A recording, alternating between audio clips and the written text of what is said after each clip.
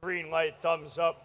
Drivers behind the line. Let's get this going in three, two, one. Power up!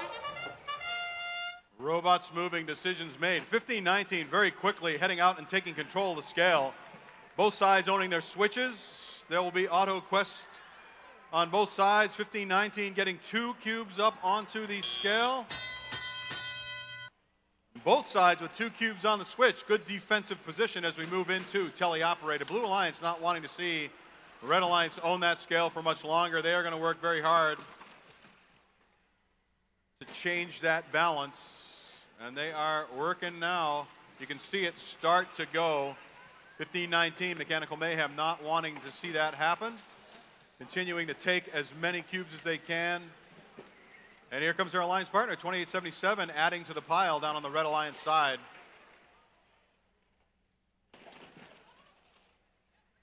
Whoa, very tippy situation there for 2342. Skillful driving recovers.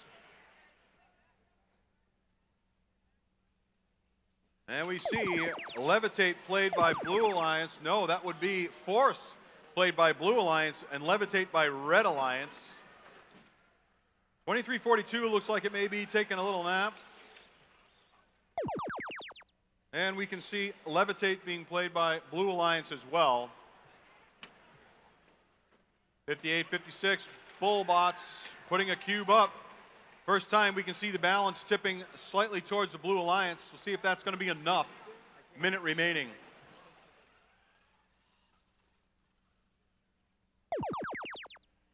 And we've got Boost being played by Red Alliance. Red Alliance in control of the scale and the switch. That's going to get them double points for 10 seconds.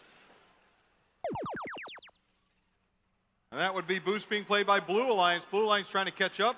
They control their switch. Red Alliance looking to change that as we get to 30 seconds. Right now, Red Alliance in control of the match. Blue Alliance slowly catching up here. There goes 15-19 up onto the platform. 58-56 doing the same. They've got their high reach. Up goes 58-56 securely into the sky. 15-19 hooking on. Will they make room for an alliance partner? Looks like not. They've only got five seconds to go, but they can climb quickly. Into the air they are, and looks like Blue Alliance will have all three robots on the platform.